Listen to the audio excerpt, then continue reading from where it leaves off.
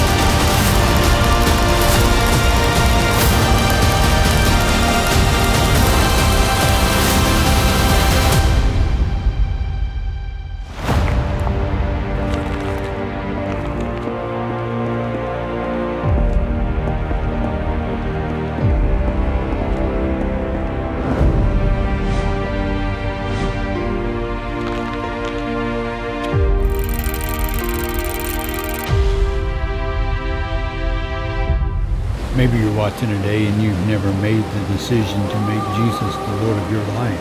You want to say this prayer, just say, Heavenly Father, I believe that you sent your son Jesus to die on the cross for my sins. And Jesus, I ask you to come into my heart, I ask you to be my Lord and my Savior.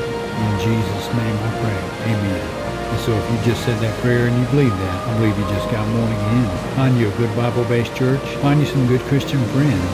Get into the Word of God. Develop a prayer life and watch God change your life. Until next time, be blessed.